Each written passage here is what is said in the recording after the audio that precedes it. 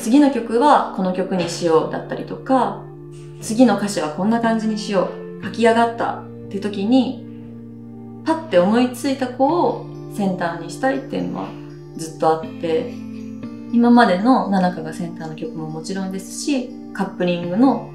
違うメンバーがセンターの曲も全部そうしてきました。コンサートを見たりとかしている中で、あ、じゃあ次の曲はこんな曲にしよう。たくさんの曲の中からこの曲にしようって思った時に、パッと思い浮かぶ子がいたので、そんな気持ちの中で、でも今までナナカがやってきてくれたからっていう気持ちだけでセンターにするのは、ナナカにも失礼なんじゃないかなっていうふうに思いました。で私にできることとかしてあげられることは、いい楽曲をメンバーに歌ってもらうことだと思っているので、うん、決断したという感じです。ファンの方がすごく一丸となって今ノイミーを応援してくださっている中で突然センターを変えるとかそういうことはやっぱりハレーションが起きてしまうんじゃないかとかフラストレーションを溜めてしまうんじゃないかっていうのは正直思っているんですけどやっぱり真剣に楽曲制作してくれてるメンバーに申し訳ないので今私たちができる中で一番最高の楽曲を制作したいっていう気持ちが一番に強かったです。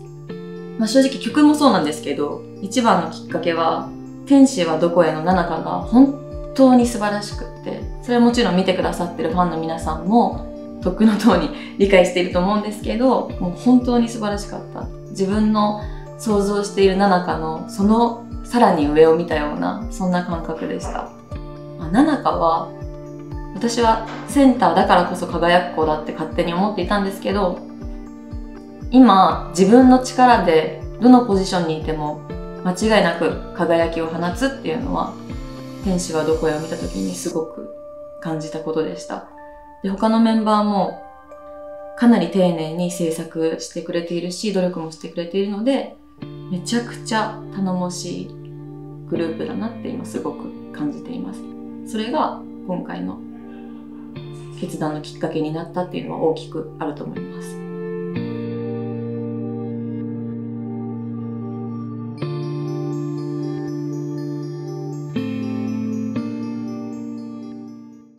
いろんな子がセンターを務めることができるっていうのは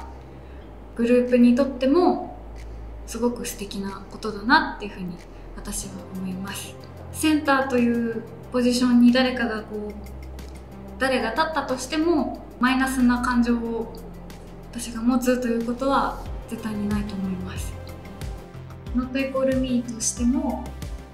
私富田のなんか個人としてもすごく新しい色を皆さんにお届けできるんじゃないかなっていうふうに思うので今はすごくポジティブにプラスに感じています。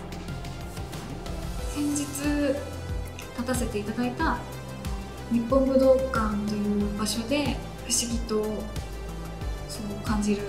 ことができたように思います。そういう意味でも「Not Equal Me」の節目だったんだなって思います。ここがすごくいいターニングポイントとしてさらに飛躍のきっかけになるように私自身これからもっともっと頑張っていかなきゃいけないなって思います。指原さんをはじめいつも支えてくださるスタッフの皆さんそして